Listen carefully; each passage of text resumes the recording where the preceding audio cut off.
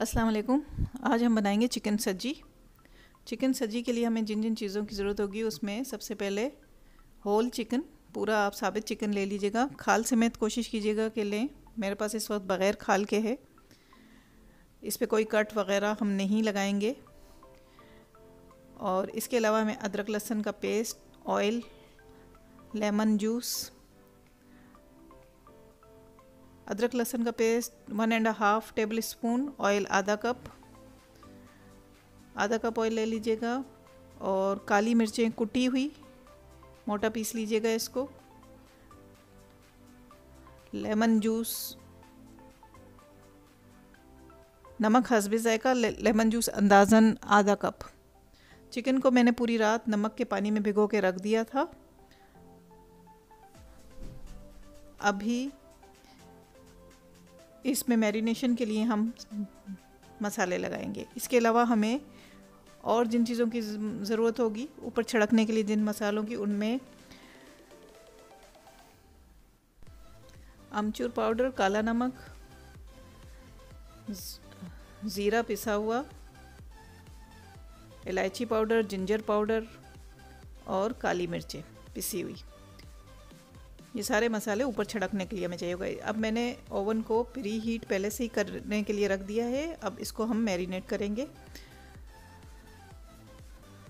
अदरक लहसुन का पेस्ट इस पर आप अच्छी तरह से लगाएँगे। अपने हाथ अच्छी तरह से धो लीजिएगा। मैं ऑलरेडी धो चुकी हूँ। अदरक लहसुन का पेस्ट आप अच्छी तरह से अंदर बाहर इसको अच्छी तरह से मल लेंगे।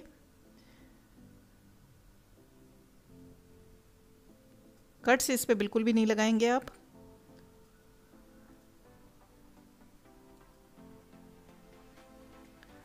बिल्कुल अच्छी तरह से इसको अंदर बाहर, ताकि ये मसाला अच्छी तरह से अंदर तक चला जाए।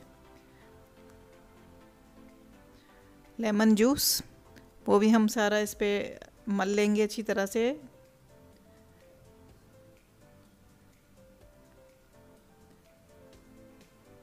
आगे पीछे अच्छी तरह से आप लेमन जूस भी लगाएँगे। कट्स नहीं लगाएँगे इस पर हम, मैं बार बार आपको बता रही हूँ। ओवन प्री हीट कर लेंगे आप 200 डिग्री पर और 45 टू 50 मिनट्स आप इसको रखेंगे। ऑयल इस पर हम लगा देंगे। ऑयल इस पर लगा के अच्छी तरह से आधे घंटे, आधा पौना घंटे के लिए हम छोड़ देंगे। साथ ही काली मिर्चें जो हमने कुटी हुई रखी हैं, वो भी हम लगा लेंगे इस पर और ओवन प्री हीट हो जाए जब तक कि इसको हम मैरिनेशन के लिए रख रहे हैं।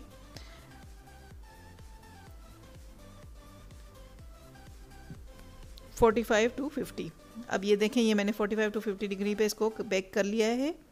ये अच्छी तरह से गल चुका है। मसाला मैंने थोड़ा सा छोड़ दिया है इसमें। कुछ लोग ड्राई पसंद करते हैं, वो चाहें तो और ज़्यादा इसको थोड़ा सा ड्राई कर लें, मैंने छोड़ दिया है। अब ये जो मसाले हैं, अलग से हमने रखे थे, इन सबको हम मिक्स करके, सारे मसालों को जो मिक्स करके इसके ऊपर छड़क देंगे। ये एक किस्म का सज्जी का चाट मसाला है। इस मसाले को आप डब्बे में बंद करके भी रख सकते हैं। कभी भी आप यूज़ कर सकते हैं इसको। इनको मिक्स करके।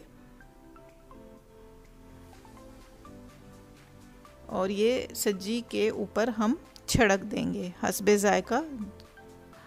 जो जिस हिसाब से आप टेस्ट लेना चाहें।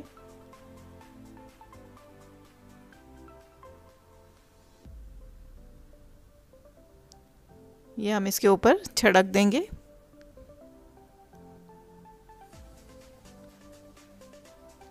इस पर कोयले का धुआँ भी आप दे सकते हैं, बारबेक्यू टच लगाने के लिए, लेकिन मैंने अभी नहीं दिया है।